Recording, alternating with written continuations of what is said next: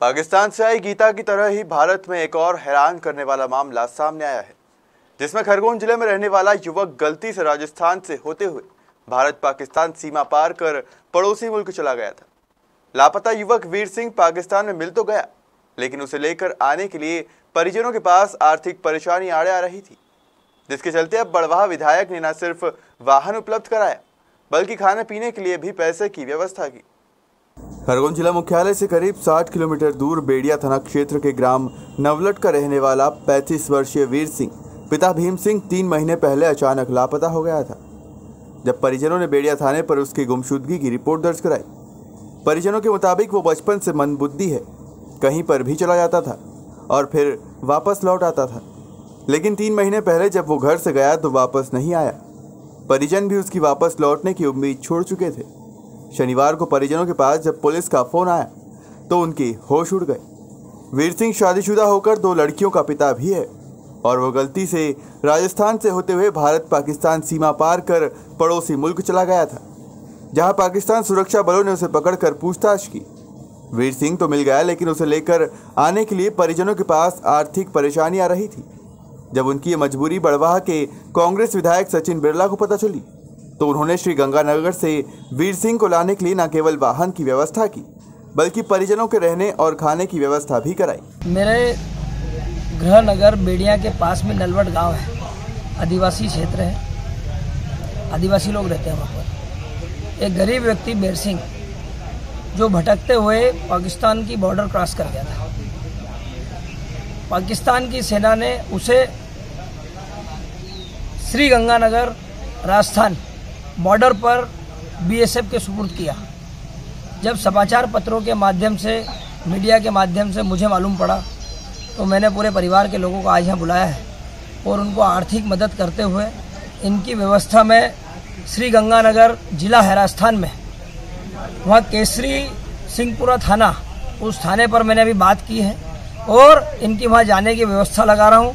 अगले तीन चार दिन इनको वहाँ रहना पड़ेगा, वहाँ जाँच होगी और सीआईडी इनसे पूछताछ भी करेगी। यहाँ से एक सरपंच को भेज रहे हैं हम लोग और बेर सिंह के छोटे भाई को भी हम लोग यहाँ से भेज रहे हैं। इनका पूरा परिवार जाएगा, हमारा सरपंच जाएगा, एक गाड़ी भेज रहे हैं और उनको वहाँ से लाने की पूरी पूरी हम लोग व्यवस्था कर रहे हैं। एक परिवार जो हमारा टूट गया था और उस परिवार का मुखिया घर से लापता हो गए थे, पाकिस्तान चले गए थे, उनको वापस लाने के लिए हम लोग भरपूर प्रयास कर रहे हैं और आने वाले समय में पूरे परिवार में खुशहाली आएगी और हम क्षेत्र में उसका मान सम्मान भी करेंगे, जो पाकिस्तान से बिना कार्रवाई हुए, पहली बार मैं समझता हूँ ऐसा हुआ है कि पाँच महीने से जो व्यक्ति बाहर था, वो आज हमारे बीच में आएगा, हम सब लोग उसका मान सम्मान करेंगे और छोटे भाई को भी हम लोग भेज रहे हैं। एक नलवट करके ग्राम है, थाना बेड़िया, खरगोन में।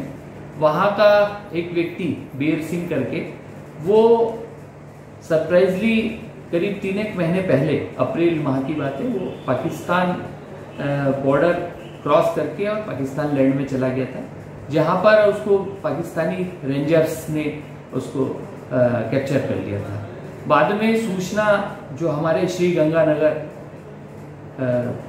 के बीएसएफ के सीईओ हैं, उनको प्राप्त हुई, उन्होंने हमें सूचना दी, जिस पर से उनके द्वारा जो है रेस्क्यू कर उसको बीएसएफ ने वापस लिया है। पाकिस्तानी रेंजर्स ने कल उसको हैंड ओवर कर दिया। सर बॉर्डर से कितनी दूर है सर?